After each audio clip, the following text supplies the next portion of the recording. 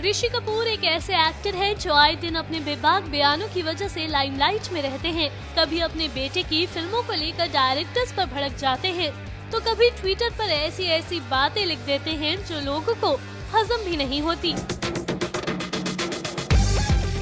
अब भाई, अगर हम ऋषि की बात फिर से कर रहे हैं तो आप समझ ही गए होंगे कि एक बार फिर मिस्टर कपूर ने कुछ ऐसा बोल दिया है, जो खड़ी कर सकता है एक बार फिर कंट्रोवर्सी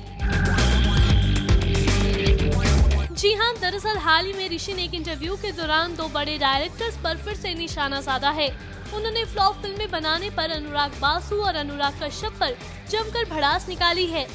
आइए दिखाते हैं आपको आखिरकार ऋषि ने क्या कहा। अनुराग कश्यप को बॉम्बे वेलवेट बनाने के लिए काफ़ी पैसे मिले, लेकिन उन्हें पता ही नहीं है कि उसे खर्च कैसे करना है। निर्देशक अनुराग बासु की फ़िल्म जग्गा जासूस एक घटिया फ़िल्म थी। जिसमें कोई कहानी ही नहीं थी। मैंने रणबीर से इस बारे में पूछा भी था तो उसने कहा कि, पापा, उन्होंने मुझे बर्फ़ी जैसी फ़िल्म भी दी है। मैं उन पर सवाल कैसे खड़ा कर सकता हूँ? वैसे अब ऋषि जी, आपने एक बार फिर इन डायरेक्टर्स को ताना कस तो दिया, लेकिन बार बार एक ही बात को इतना खींचना कहाँ की समझदारी है?